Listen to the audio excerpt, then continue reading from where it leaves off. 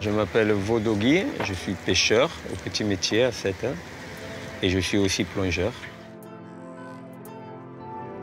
Mon père était pêcheur, mon grand-père était pêcheur euh, et je suis devenu pêcheur euh, par décision, par passion surtout parce que je ne considère pas ça comme un travail. C'est plus ma vie, voilà, la pêche et la plongée qu'un métier.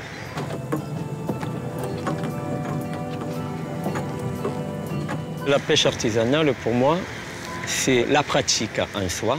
C'est une pêche sélective, qu'elle soit au filet ou au palangre. Les poissons sont ciblés. Qu'on pêche de temps en temps euh, à la fois des dorades, des pageaux, des marbrés. On ne prend pas tout en vrac comme ça. C'est ce qui caractérise le mieux la petite pêche.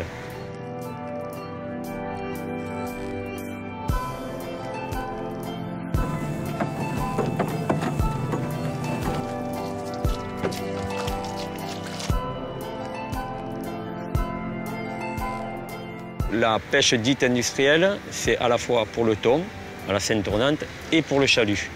Donc la pêche au chalut, c'est une pêche qui est pas du tout sélective. Je pense que les gens savent ce que c'est qu'un chalut. C'est une grosse, une énorme poche qui est traînée euh, dans l'eau, qui racle le fond, et elle pêche euh, tout ce qui se trouve dans cet espace-là.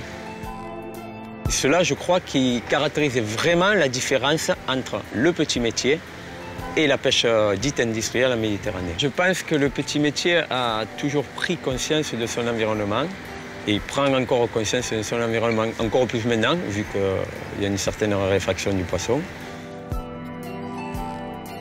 Comme on dit ici, un bon pêcheur, c'est celui qui ramène beaucoup de poissons. Et je pense qu'il faudrait voir les choses différemment et dire un bon pêcheur, c'est celui qui ramène pas forcément beaucoup de poissons, mais qu'à la fin de l'année, il puisse avoir son budget qui soit bouclé. Donc nous demandons, dans la nouvelle réforme de la politique commune des pêches, soit pris en compte les gens qui travaillent de façon durable et de façon écologique.